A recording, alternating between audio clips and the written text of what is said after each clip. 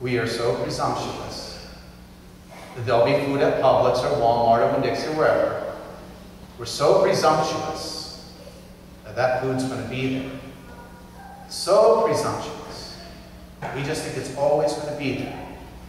And so the Jews, when Jesus feeds 5,000 men, 5,000 women, and a score of children, they're like, bring it on. We want more free food.